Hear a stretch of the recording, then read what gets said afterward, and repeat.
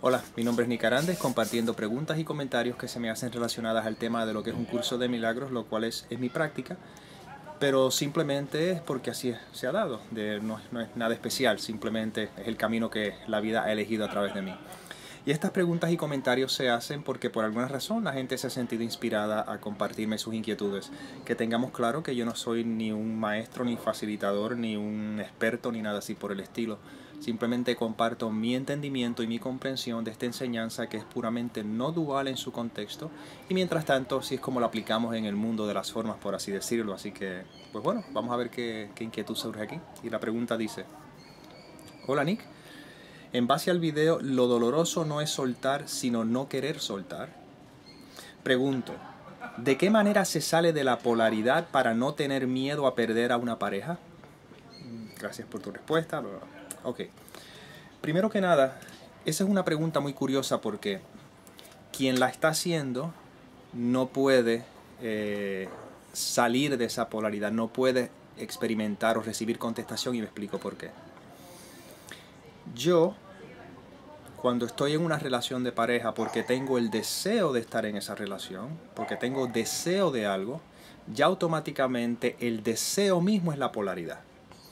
Entonces, el objetivo no es ver cómo yo o qué trabajo puedo yo hacer para que esa polaridad se deshaga en función a cómo desapegarme de una pareja.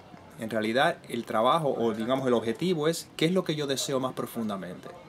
Si deseo la verdad, en otras palabras, si deseo la paz interior como lo más profundo, pues entonces la vida me va llevando poco a poco a través de un proceso a través del cual empiezo a priorizar eso y empiezo a ser consciente de, por ejemplo, de que todo lo que nosotros estamos buscando es el placer porque creemos que en el placer encontramos la felicidad. Bueno, pues una pareja te brinda una gran cantidad de placer en todos los niveles. ¿Qué ocurre? Cuando ya uno empieza a ser consciente que la felicidad es la paz interior subyacente a cualquier deseo y empieza a honestamente a moverse en esa dirección, pues entonces no es que yo me desapego necesariamente, es que el desapego naturalmente ocurre. Entonces el desapego naturalmente va teniendo lugar, pero va teniendo lugar porque a un nivel mucho más profundo la mente está siendo consciente de lo bien que se siente cuando no hay sufrimiento. Y eso es lo que estamos todos poco a poco deshaciendo, el sufrimiento.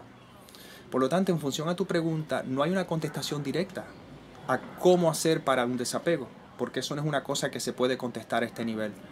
Eso es un ocurrir que naturalmente tiene lugar cuando empiezan a cambiar las prioridades.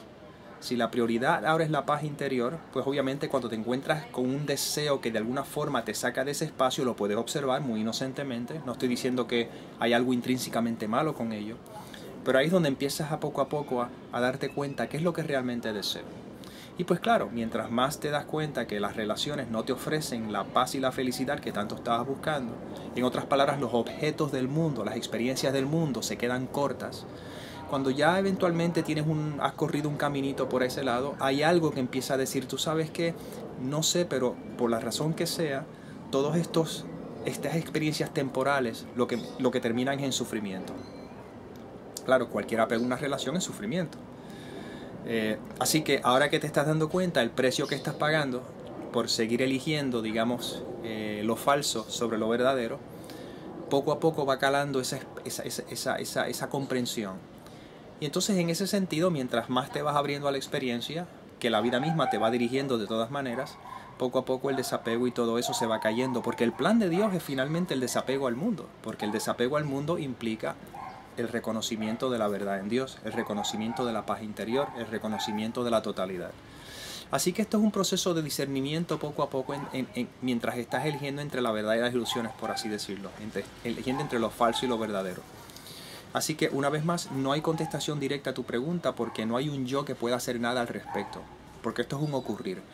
Pero sí puedes empezar a darte cuenta el precio que estás pagando por elegir los juguetes, el cuchillo de doble filo, y cómo te vas sintiendo cada vez que te vas abriendo a este espacio de paz y de tranquilidad.